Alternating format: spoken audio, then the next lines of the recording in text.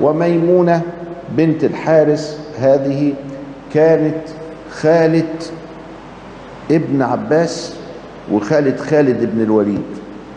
يعني اخوته إخواتها البنات واحدة متجوزة العباس ومخلفة منه عبد الله وواحدة تانية متجوزة الوليد ومخلفة منه خالد.